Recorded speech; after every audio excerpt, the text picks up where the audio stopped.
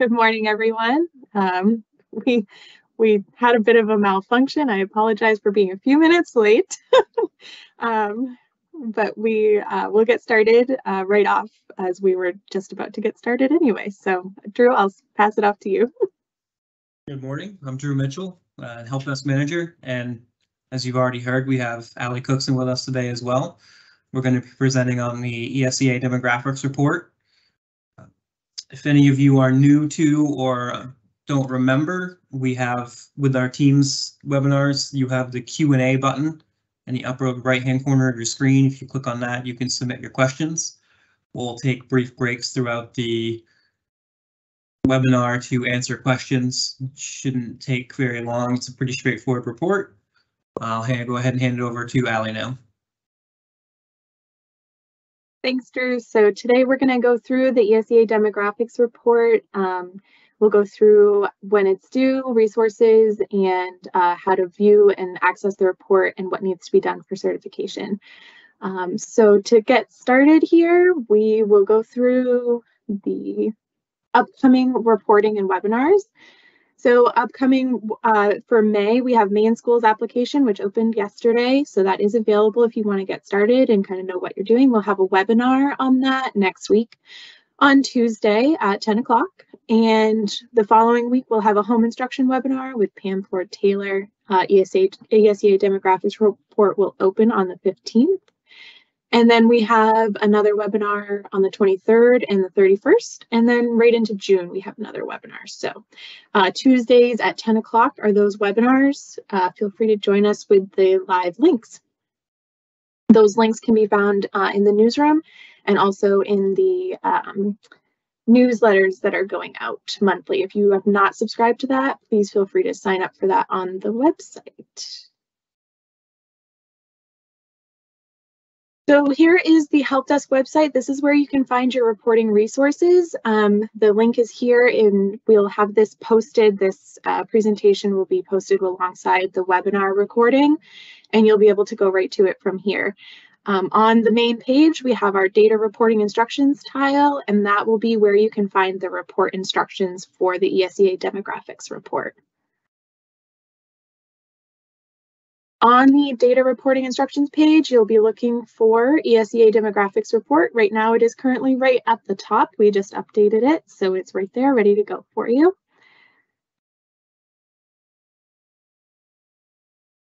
ESEA demographics overview. This is just kind of why we're doing this reporting session. Uh, so this is an aggregation of students enrolled on 527 for participation in state assessments during the current assessment administration. So um, we are just looking at students who are enrolled on that 527 uh, for the district full year report. Uh, this report includes student demographic categories for assessment and count accountability. So when we look at the ESSA dashboard, these are the reports that you would be filling out to see those numbers on that um, on that dashboard. All LEAs with publicly funded students are required to complete this report um, for assessment purposes. So report is going to open on 5.15. Um, you may see if you log in that it may be populating. If it's not, wait until 5.15 and you'll be able to see that data starting to come into the report. Um, it is looking at data for students on um, 527. So on 527, that will be the day that we're collecting. If you notice here, it is on Saturday. Uh, so the Saturday uh, date, once again, similar to April 1 and October 1, you'll want to make sure that you're checking those enrollments for that 527 Saturday date. So this is open on 515. It will be due on 615. Um, you won't be able to start certifying until about 6-1. Um, so just keep an eye out, make sure your numbers are correct throughout the end of May. And then at the beginning of June, you'll be able to certify. In order to locate the report, this report will be in um, NEO. So your student data, student reports, and then you'll be looking for ESEA demographic certification report. And there will also be a um, details report. So you have two different sections. The certification report is going to give you your aggregate counts. And then your uh, details report will go into detail about each student and the specific demographics to each one so you can verify and make sure that if there are any errors that you can find the student who may be missing the count. Anyone who needs access to this report will need to have NEO access, so we'll need to have an access request form filled out if you have not had access to NEO before. This is something that your superintendent will have to submit on your behalf and can be found on the um, help desk website. You can also find it in this um, presentation once we've posted it. All these lives, all these links are live. This is just another view of how to access the report. So in the main screen of NEO, you have your student data dashboard. So we'll click student data. And then you have two different options to navigate to student reports. So you have student reports up at the top, and then you have um, click here to enter student reports. On the student reports dashboard, we have the ESEA certification report and the ESEA demographics details. Once again, the certification report is going to give you your aggregate counts, whereas your details report is going to go into each individual student and tell you who is making up those counts. This is your view of the certification report. You have um, various demographics for your students. It's just important to make sure that all of your counts are correct. Um, these are for students who are eligible for taking the assessment um, and so we have science, math, and ELA, and then access for ELLs. Just verify that everything looks good. You'll be able to navigate to the details reports for your attending students and your responsible students right here on the student, um, on the certification report.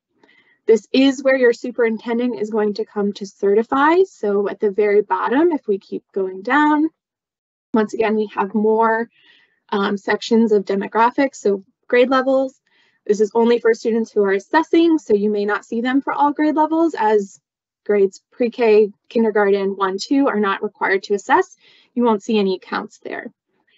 Um, and then at the bottom is your other accountability indicators. So those are going to just verify that those look good.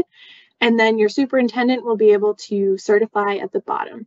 So um, once everything's been verified, have your superintendent come in, click that certify and submit to DOE button.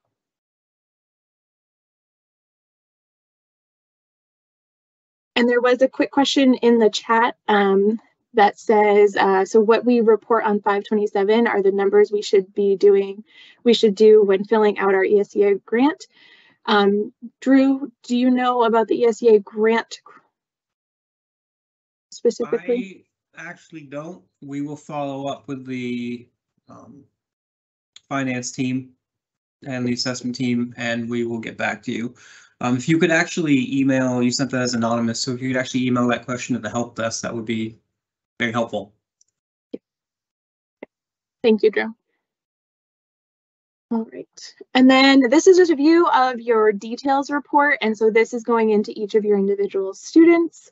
Um, and you can just verify their grade level, their um, sex, ethnicity. Um, if they were a district full year, full academic year student, that means that they were enrolled from October 1st to um, 527. So they were continuously enrolled throughout the school year with your district. On this report, you can also search for specific students. So if you see an error with a count, you would want to make sure that, you know, and you, maybe you think you know who that student might be that's maybe making the count off. You can search their ID number, their name. Um, and then you also have the ability to save and export so you can send this to an Excel file so you can sort it and see how many third graders do you have, how many fifth graders do you have, anything that you wanted to see um, to verify any of those counts as well. And you also have column sorting. There's you can do quite a bit of it within Neo or yeah, within Neo without having to export, but exporting also gives you a few more options if you prefer that method. And this is just the second view of the um, details report, your asterisks are where the students are required to assess. So a student in uh, the top student here is a fifth grader, I believe, and so they qualify for the science assessment. So they would be um, able to take that assessment. See, yeah, they're fifth grade, so they are able to take the science assessment. Once again, all of this data is staged, so this is um, just so you can see kind of what it's going to look like on your end, but none of this is real. And then a few notes um, about this report. Once again, this is a Saturday, May 27th. Um, and so you'll want to coordinate with districts and make sure that students um, who move are accounted for for assessment purposes. Um, and any students who are district full academic year, if they move right before May 27th, they shouldn't be on your report. They should go um, to another district. So you, you have your district full academic year students are continuously enrolled from October 1st to May 27th. Those are the students that you would see there. Students exited prior to May 27th will not be counted on the report and only your superintendent will be able to click the certify and submit to DOE button. Another note that I wanted to make here Hi, Danette. It's nice to see you in our chat here. um, another note that I wanted to make was that any changes to anything that you see in the NEO report for student data, if you have errors or something needs to be updated, that update needs to happen in Synergy. It cannot happen within NEO, so you'll have to go back into Synergy, update what needs to be updated, and then you'll have to wait an hour, hour and a half um, the countdown on the help desk uh, timer will help you determine when the next upload will happen from Synergy to Neo. Um, but just keep an eye on that to make sure that any um, changes are being reflected. So come back in and check it and make sure that it looks good after that allotted amount of time.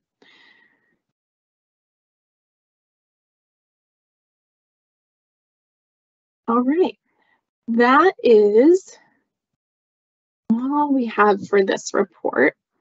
Um, if you have any questions after we close this out, feel free to contact the MEDMS help desk for any reporting questions.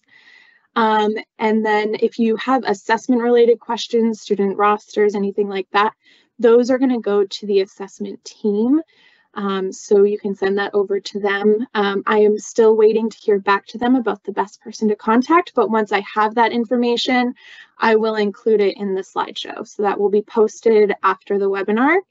Um, and then if you would like any training opportunities within Synergy, NEO, um, state reporting requirements, anything like that, um, those can come to me directly um, and we can set up a session to talk about state reporting.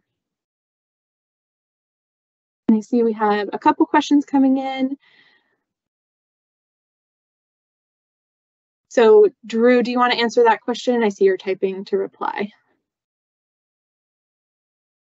I actually haven't clicked on it, but. Oh. so we have a question. Does this report include students that are that we tuition to other schools? Drew, do you want to take that one?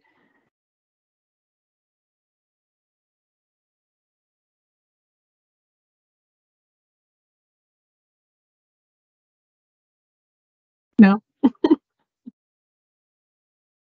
um, there are two different reports in this. Uh, so you have your attending students and then you have your um, responsible students. And so on your responsible report, those will be your students who are tuitioned out. Um, whereas your students who are currently attending, um, this kind of goes back to your accountability um, with your enrollments and making sure that your enrollments are correctly coded, um, review the enrollment guidance to make sure that if a student um, if a student shouldn't be showing up on your report, that they are um, correctly coded in Synergy to not uh, to not be showing up. Um, so the enrollment guidance document on the enrollment guides page would probably be a really helpful resource to determine if you should be seeing a specific student or not. Would you agree with that, Drew? Yes, good work. Ellie's only been here for a couple months, so I'm trying to put her through the wringer with the questions. Yes, I've I've been here since July. A couple months. Yeah.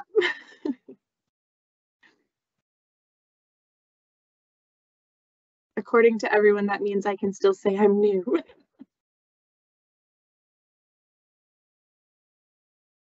But yes, if you have any other questions, please feel free to send them our way. Um, I see we have no new questions currently.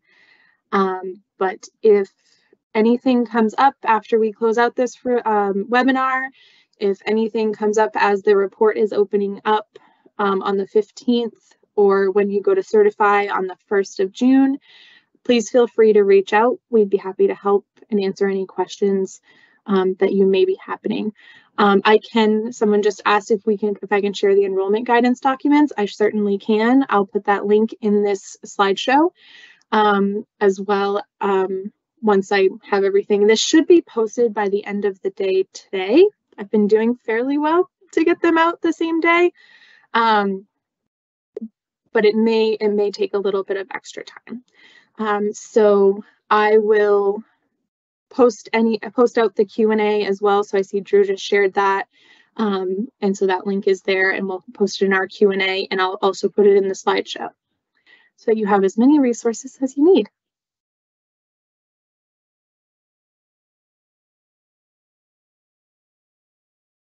We still have quite a few attendees, so we will stick around for a few more minutes. If anyone has any more questions or wants to see something again, we're happy to do Uh, do that or answer the questions.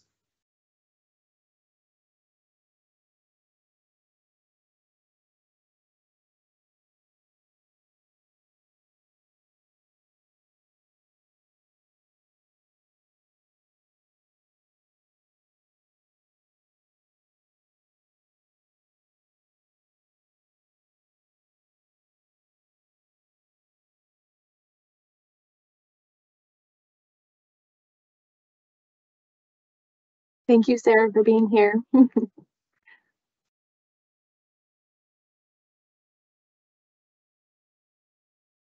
All right, we're starting to see people drop off now, so mm-hmm. we'll go ahead and end the webinar. But as always, if you have any follow-up questions, comments, or concerns, just email or call the help desk and we'll take care of them for you. Yep. Thank you Thank everyone for all. attending. Have a good day. Have a great day. Thanks, everyone.